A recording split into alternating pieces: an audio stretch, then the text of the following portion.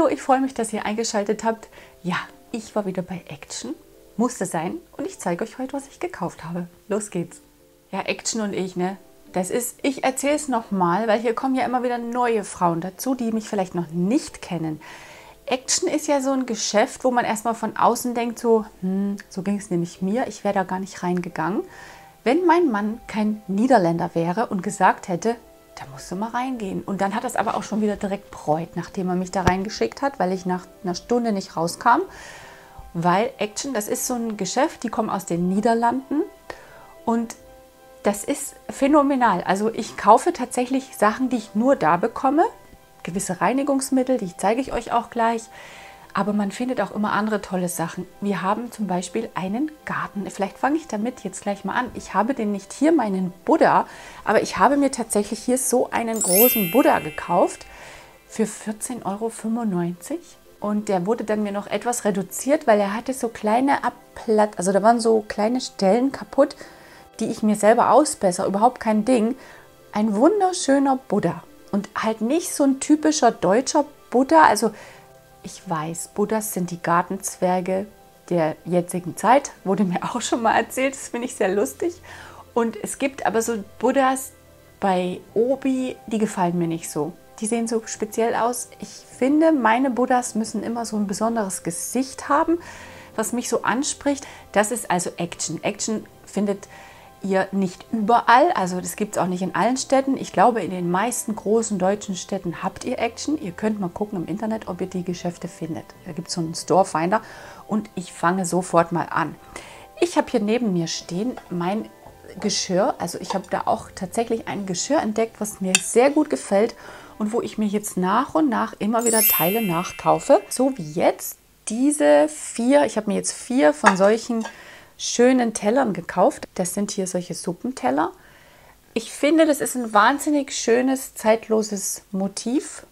Ja, da sind ja die Geschmäcker verschieden. Ihr findet bei Action auch ganz tolle so Steingut-Sachen, aber das ist, glaube ich, echt so ein Trend. Da könnte ich mir vorstellen, dass mir das in ein paar Jahren nicht mehr gefällt. Wogegen diese Sachen finde ich sehr schön. Die sind auch so stabil. Also ich meine, ich habe Kinder ne? und da passiert das öfters mal, dass ein Teller runterkracht. Und bis jetzt ist noch nichts kaputt gegangen. Ich finde sie sehr schön. Ich kaufe mir da, wie gesagt, immer mal wieder so vier Teile, bis ich da irgendwann alles zusammen habe. Was ich auch gefunden habe und so, so zauberhaft finde, sind so kleine Ohrstecker. Die sind in so wieder, das ist wieder Sterling Silber und so kleine Zirconia-Steine. Ne? Das ist natürlich nichts echtes, logisch. Ihr habt 60% Silber steht hier und 40% Glas. Aber die sind zauberhaft, die glitzern, die glänzen. Ich finde sie total süß und freue mich, die jetzt viel zu tragen, weil ich ja gern solche kleinen Ohrringe, gerade im Sommer, wenn es warm ist oder jetzt, wenn die Temperaturen steigen, mag ich das oft nicht so große Ohrringe. Dann stört mich da wirklich alles, was an meine Haut kommt und deshalb finde ich die kleinen sehr schön. Zum Thema Sommer. Ich gehe ja auch gerne in die Sonne, aber schütze mich. Ich trage also echt immer gut Lichtschutzfaktor auf vor allen Dingen Gesicht, Dekolleté, Hals. Da müsst ihr wirklich aufpassen. Ne? Das ist, sind so diese empfindlichen Zonen, wo man sich nicht verbrennen möchte, die Haut nicht so fleckig haben möchte. Ich finde so an den Armen, ich habe jetzt übrigens hier einen mega blauen Fleck. Das ist jetzt kein Sonnenbrand oder so, ist einfach nur ein richtiger fetter blauer Fleck. Aber egal. Und aber hier oben im Gesicht. Und jetzt dachte ich mir halt, wenn man dann im Garten ist, kann man ja auch mal hier so eine Mütze aufsetzen. Geht jetzt schwierig, weil ich meinen Zopf da oben noch habe. Aber die fand ich jetzt sehr süß, so eine rosé-lachsfarbene. Ja, ich weiß nicht, ob ich damit so draußen rumlaufen würde, aber im Garten. Was ich bei Action liebe und mir jetzt auch immer mehr nachkaufe, sind meine geliebten Invisible Hipster. Das sind diese Slips, die quasi keinen Popo abzeichnen unter der Hose oder unter dem Rock, je nachdem, was ihr gern tragt. Die sind ganz weich, also ich finde sie wundervoll, wirklich. Die, ich trage sie ganz gerne. Also das ist natürlich hier Polyamid, müsst ihr halt wissen. Es gibt ja Frauen, die wollen nur Baumwolle auf der Haut. Hier ist Polyamid und Elastan, aber ich liebe die sehr. Ich trage die so gerne. Ich mag die Farben, die Muster und die sind sehr günstig und deshalb kaufe ich die immer wieder nach. Genauso, was ich jetzt auch tatsächlich nachgekauft habe, man mag es kaum glauben, aber ich habe es leer bekommen, ist mein, oh, ich liebe dieses Schaumbad. Das ist einfach mal so gut zwei Liter Schaumbad. Das ist wirklich schwer und ich habe es leer bekommen. Das ist mit äh, Milchsäure, mit, da ist jetzt Buttermilch drin und eure Haut, also so geht es mir. Erstens mal mag ich den Geruch ganz gerne. Es schäumt total und die Haut wird so richtig schön glatt. Also ich gehe tatsächlich gerne baden damit und ich nehme dann auch meine Kleine mit in die Wanne oder meinen Sohn, wenn die baden wollen. Da mache ich dann natürlich dann ganz wenig nur rein, aber ich finde es sehr angenehm und ja, es ist ein richtig und ich mag auch diese Flaschen so gerne und die kommen auch direkt aus Holland. Ne? Das ist ein holländisches Produkt, wird auch in Holland hergestellt. Dann habe ich jetzt mal was eingepackt, nicht für die Wohnung, sondern für den Garten und zwar dieses Popcorn ich weiß nicht, ich glaube, ich habe noch nie in meinem ganzen Leben Popcorn gemacht.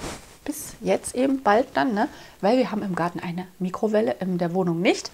Und jetzt dachte ich mir, wäre doch lustig, wir machen mal Popcorn. Ich habe es noch nie probiert. Ich habe keine Ahnung, ob es schmeckt. Das ist das Süße. Gibt süß und salzig und ja, das musste jetzt mit. Was ich gebraucht habe, was sehr praktisch ist für mich, ist eine Küchenuhr. Ja, habe ich auch noch nicht. Hört ihr auch schon, wie sie bimmelt ich weiß nicht, ich habe immer ohne Küchenuhr bis jetzt gekocht, aber ich merke schon so, meine Kleine da rumwuselt und mein Sohn und dann will mein Mann noch was. Und dann schmeiße ich da die Pasta zum Beispiel in die, da ins Wasser. Dann denke ich so, wann habe ich die jetzt reingemacht? Oder bei Aufläufen oder irgendwelche Sachen, wenn, wenn ihr was aufbackt oder so. Das nervt mich und jetzt möchte ich mir angewöhnen, dann drehe ich an diesem Rädchen und natürlich mache ich auch noch immer einen Test und so keine Frage. Wir haben eh einen relativ alten Gasherd, also wir kochen auf Gas wo man eh so ein bisschen nach Gefühl und so kocht, was ich ja sehr schön finde, so ein bisschen intuitiv und riecht und so testet und nicht einfach nur in eine Maschine, die alles macht. Aber so eine Uhr, finde ich, die brauchte ich jetzt. Also was ich bei Action immer liebe und kaufe, ja, Quatsch, habe ich euch auch schon gezeigt. Das ist so, so gut. Könnte ich mich reinlegen, Vanille. Es ist soft. Plompenzieher, ne? sagt euch das was? Super lecker. Kommen auch aus Holland und ja, ich könnte mich daran echt überfressen. Mache ich aber nicht. Ich habe ja nur eine Tüte und wenn die leer ist, ich gehe nicht jede Woche zu Action. Und was aber auch so gut ist, das können ja die Holländer auch so gut, das sind diese Katjang Pedis Spicy. Das sind Nüsse und die sind pikant Gewürze. Erdnüsse steht hier auch drauf. Oh, da haben die ja, wenn man in Holland ist, in den Geschäften so viel. Also das ist jetzt nur eine kleine Auswahl davon. Aber das nehme ich auch immer mit vom Action. Also ich finde, Action ist immer so ein kleines bisschen Holland für mich. Dann brauchte ich Feuerzeug für meinen Gasherd. habe ich ja gerade erzählt, in der Küche. Und da fand ich das so lustig mit diesen Pelikanen. Also das ist doch echt mal ein schönes Sommerfeuerzeug. Das habe ich mir jetzt auch eingepackt. Also drei Stücken V und zwei mit Pelikanen. Ja, musste mit. Dann habe ich noch sowas ah, gefunden. Ich hoffe, dass es nicht schmeckt. Da muss ich es nämlich nicht nochmal nachkaufen. Das ist dieses Cookies mit Erdnussbutter und Milchschokolade. Oh. Oh, ich glaube, wenn ich jetzt das Video abgedreht habe, dann werde ich mir da sofort einen reinwerfen. Mache ich aber erst, wenn ich fertig bin, weil sonst sitze ich hier und kau die ganze Zeit. Ja, bin ich sehr gespannt. Hoffe, sie schmecken nicht. Und dann habe ich mir noch was ganz Praktisches eingepackt, weil ich ja, ihr wisst ja, ich habe da so eine Pflanzenexplosion in meinem Wohnzimmer. Und zwar einfach diese Töpfe, die fand ich sehr günstig. Ich bohre die dann mit einer Schere hier unten immer an. Ne? Also da sind so kleine Dinger, das ist ja immer sehr wichtig. Und dann kann man die da erstmal auf den Teller stellen oder in einen schönen Übertopf. Da habe ich jetzt nichts gefunden. Ich wollte eigentlich noch einen schönen Übertopf. Die hatten so schöne Körbe, aber da war ja innen nur Korb. Da wäre mir ja dann das Wasser reingelaufen von den Pflanzen. Das geht nicht. Da hatte ich bei Obi schönere Sachen entdeckt. Aber das ist auf jeden Fall sehr praktisch und wichtig, ne, wenn ihr eure Pflanzen umtopft. Bevor ich euch jetzt gleich die ganzen Reinigungssachen zeige, wo ich wieder eskaliert bin, zeige ich euch noch was Praktisches ich weiß nicht, ob ich in meinem Leben jemals schon mal Wäscheklammern gekauft habe. Jetzt habe ich es getan und die sind für den Garten, weil wir hatten im Garten letztes Jahr irgendwie nur vier Klammern und da hingen dann auch immer nur meine Bikinis dran und das hat mich dann irgendwann genervt. Also ja, ich habe es nicht geschafft, letztes Jahr Klammern zu kaufen. Dieses Jahr habe ich mir vorgenommen, jetzt bevor das losgeht, die Badezeit, Klammern habe ich jetzt auch. So, jetzt geht's los. Was ich mir mitgenommen habe, ist dieser Air Refreshener Lavendel Patchouli. Das ist also ein Lufterfrischer. Das ist so eine kleine Flasche und ich sprühe jetzt auch direkt. Ich habe es noch nicht probiert, aber ich weiß, dass es gut ist. Ja, Lavendel. Oh, so gut. Lavendel Patchouli. Oh, oh mega. Uh, ich muss gleich mal hier mal kurz sprühen. Oh, ist das gut. Wollte ich eigentlich für den Garten geht da nicht hin, bleibt jetzt erstmal hier in der Stadt, weil ich brauche das. Ich werde dann direkt wieder zum Action fahren und mir gleich noch zwei solche Flaschen holen. Oh mein Gott, ist das gut.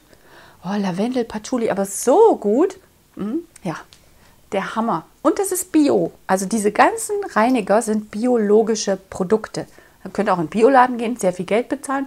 Oder bei Action diese schön und die sind dann auch nicht so hübsch wie diese Flaschen.